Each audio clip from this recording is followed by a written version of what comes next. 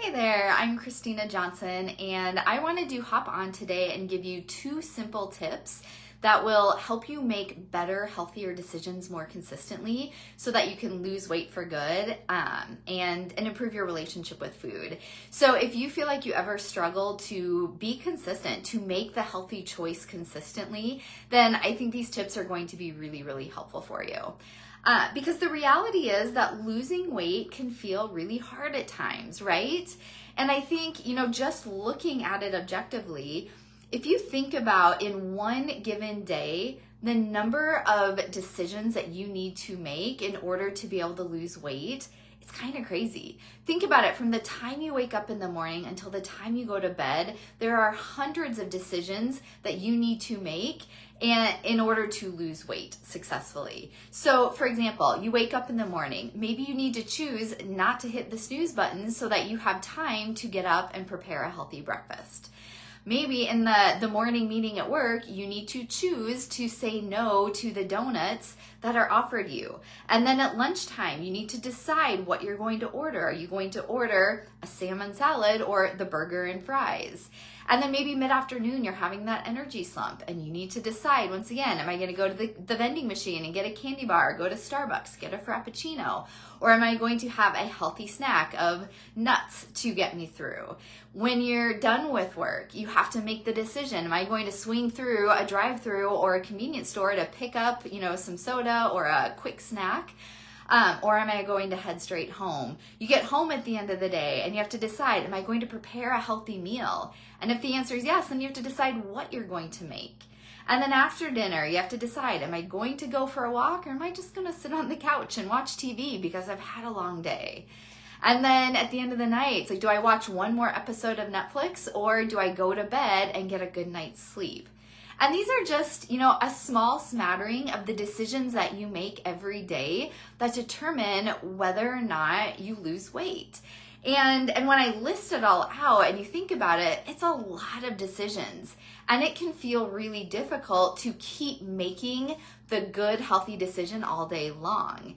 And and then what happens is sometimes we make one decision that's not the best and then we feel like we've blown it. So we make 20 decisions well, but one decision makes us feel like we've blown the diet and that, you know, it's all over for the day. So let me know, type me in the comments if you ever feel just drained and exhausted by having to keep making the the decisions all day long to be healthy, to make the healthy choices and in order to lose weight. I'm guessing I've definitely felt that way in the past and a lot of the women I work with. And so I'd love to know from you if you can relate to that or not. So just type me in the comments. Um, so I want to hop into these tips. Before I do that, though, real quick, if we haven't met, I'm Christina Johnson. I'm a transformational nutrition coach, and I created the Emerge Weight Loss Method. So that is the program that helps women quit the the roller roller coaster diet cycle and instead create a healthy, sustainable lifestyle that they feel like they can be consistent with and enjoy, so that they lose weight and keep it off for good. Okay. So let's dive in. I think the first thing that we need to look at is why why it's so hard to keep making good decisions all day long. And so there's this this concept called decision fatigue. And have you heard of that before? Even just hit the like button if you've heard of decision fatigue before. But this is a real phenomenon. It's been studied and researched and written about. And the idea is that we all, all of us as humans, are making thousands of decisions all day long, big and small. I mean, think about it. You decide what you're going to wear in the morning, what you're eating all day, what route you want to take to work. People are asking you questions, kids, coworkers, family, friends, and you have to decide what you're going to say in response. So we are making thousands of decisions all day long and that creates this this idea of decision fatigue. So we wake up in the morning and we have like this tank. We have this tank of willpower of decision making ability and every time that we make decisions throughout the day it chips away at it more and more. So that by the end of the day we are left feeling drained and exhausted. I mean how many of you can relate to that? To just feeling by the end of the day that you're just done. Um, and so so what happens is when this happens chronically, when we're in this state of decision fatigue and we get drained day after day, it can lead to issues. You know, that's what creates for some people this state of just being overwhelmed constantly or more anxiety or um, even you know things like brain fog and extra stress like all of that can happen when we're like getting depleted every single day because of decision fatigue. And and then it gets to this point at the end of the day where we're just in this state of mental overload where you no longer have the capacity by the end of the day to make a good healthy decision. Like you're just your brain just doesn't have it in you anymore. So i share that first of all to to help you have a little bit of compassion on yourself that if you're struggling to make healthy decisions at the end of the day um, because decision fatigue relates to so many different areas of our life, but I want to focus in on weight loss in particular.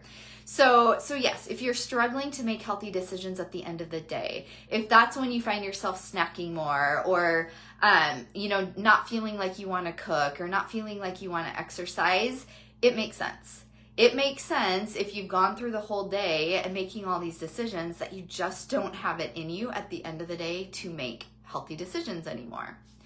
So I wanted to first just share that idea of decision fatigue with you so you kind of can see what's going on in your mind and your body. But also, I'm always about giving hope. Just because this is what happens doesn't mean there's not something we can do about it. And so that's why I want to share two tips that will help uh, counteract this problem. Because the reality is that when we make lots of decisions every day, we will start to reach that point of decision fatigue. And when it comes to making healthy food choices, if, especially at night, if you don't have that energy left to keep making good choices, then it's going to be really hard to lose weight because you might do well during the day, but then every night, or maybe it's the weekend where you tend to splurge or, you know, do things that, that aren't helping your weight loss goal. So, two things that you can do to uh, kind of reduce the decision fatigue and actually help boost your willpower so that you're more likely to make healthy choices. Number one is we need to meal plan.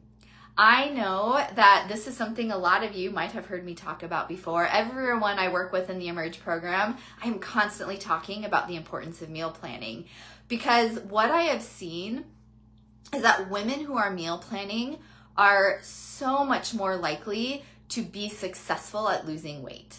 And women who are not meal planning, they might do well for a while, but they are the ones who are more likely to get off track because they don't have that plan.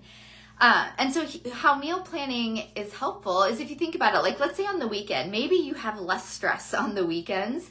And so, you make your meal plan on the weekend and you commit to following it. So, you know what you're going to eat for breakfast, lunch, and dinner Monday through Friday and you have the groceries on hand. This does not mean you have to spend hours meal prepping. So I want to be clear meal planning and meal prepping are two separate things. And I'm specifically talking about meal planning. So that is just writing out what you are going to eat every day, making a grocery list, and getting the groceries so you have it on hand. If you want to do some meal prepping, great, but let's at least focus on the meal plan. So, so that's the first tip is you make the meal plan on the weekend so that you know what you're going to eat during the week. But the key here is that when you make that meal plan, you have to commit to following it. Like mentally make that decision that you are going to follow this meal plan throughout the week.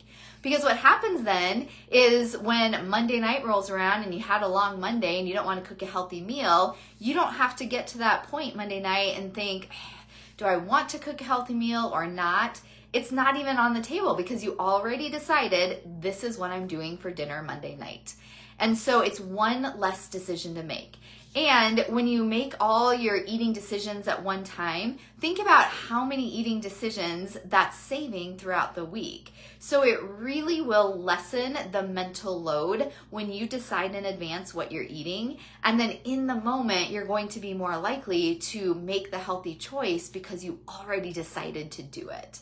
So, meal planning, I know that it is not always the most favorite thing to do. I know that it can feel like a lot of work or overwhelming, but I promise you that when you do that, you will feel so much less mental stress throughout the week because you're not constantly thinking about what you're going to eat. So it will, that decision fatigue, it's going to uh, lessen it a bit because you have fewer decisions and mental load that you're carrying every single day. So that is tip number one make that meal plan on the weekend. Tip number two is to make your exercise plan on the weekend. So, on the weekend, look at your calendar and decide which days you will exercise. Whether that's going for a walk, going to the gym, whatever you do, it doesn't matter. But decide when you're going to do it, not just the day, but the time and decide what you're going to do. So maybe you're someone that walks a few days a week, maybe you go to the gym a couple days a week. You need to plan in advance. Okay, Monday morning, I'm going for a walk.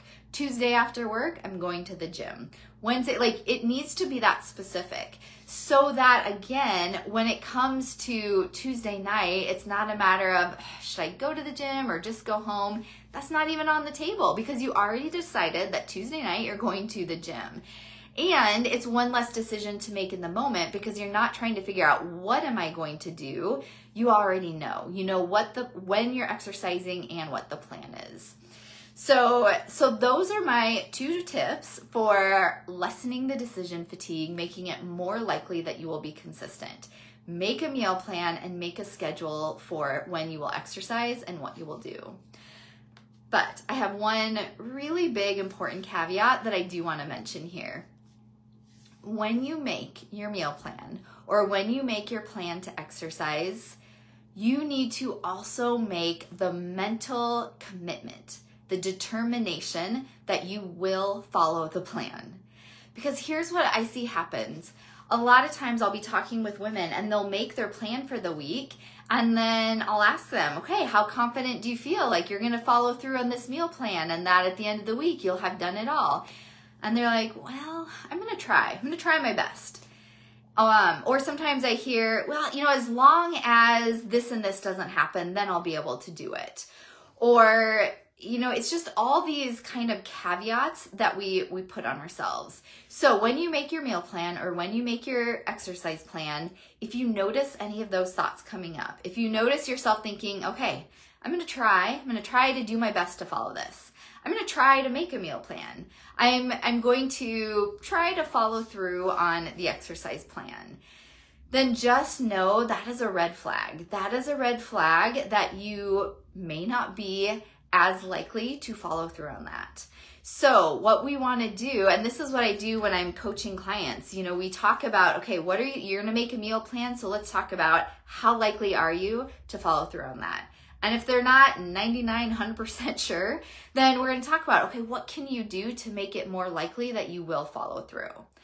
And so, one other tip I just want to share to make it more likely that you will follow through on it is to make it realistic.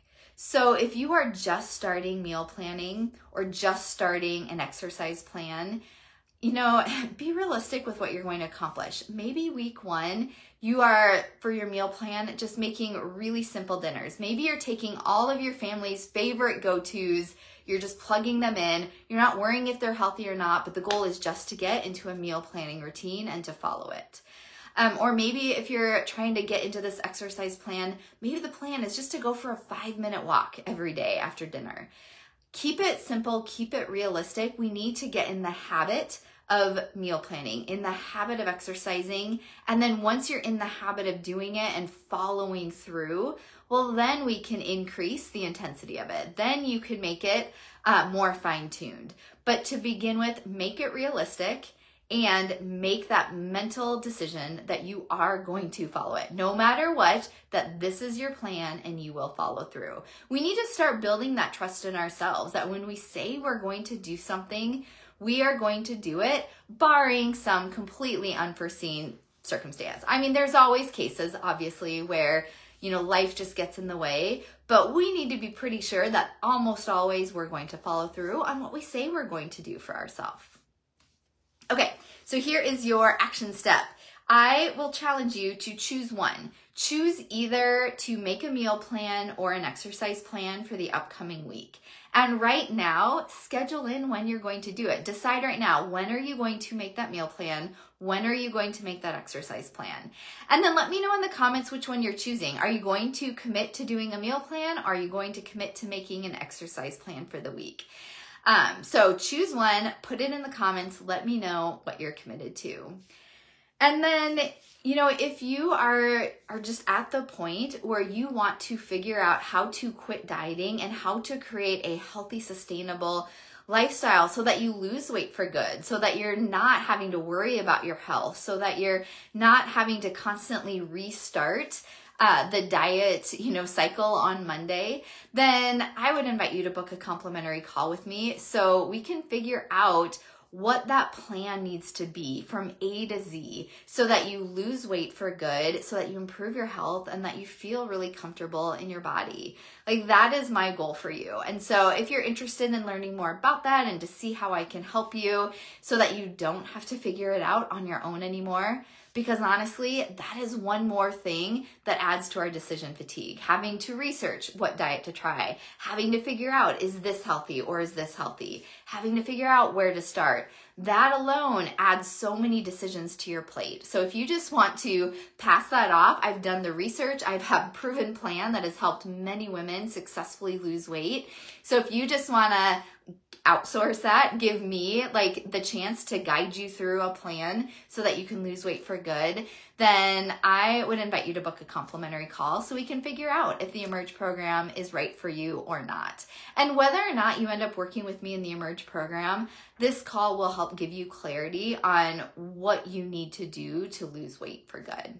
So I will put a link to that in the comments so that you can book that complimentary call. And then again, make sure you let me know if you are going to be meal planning or creating an exercise plan and if you have any questions. So I will talk to you again very soon. Bye.